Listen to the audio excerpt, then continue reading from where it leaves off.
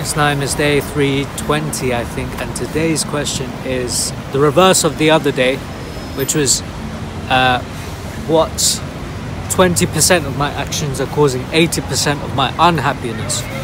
And I would say reflecting way too much on me not getting a job. Um, that's the main reason why I feel very unproductive uh, some of that is also to do with my body. Like I had these unhelpful thoughts about not working out. And I feel kind of shame.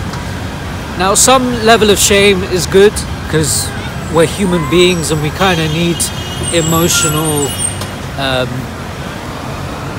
feelings to incite or, you know, uh, incentivize us to action but there's it's not productive in the sense that it's just shame for the sake of shame as opposed to shame for taking action. So i'm ruminating all these thoughts about me having not having a job when actually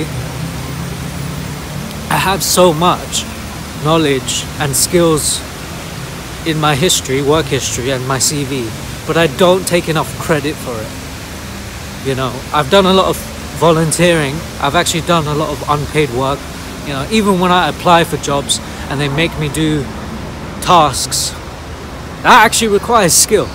Um, and I've done online courses as well, so my knowledge in writing and marketing is good. Could be better because you know there's every day whenever I work, you you learn something new, new techniques or a new field. So some things you learn in one field don't apply to somewhere else. Um, yeah, so I would say just ruminating on these unhelpful thoughts. Um, yeah, that's about it. Can you believe it's nearly a year?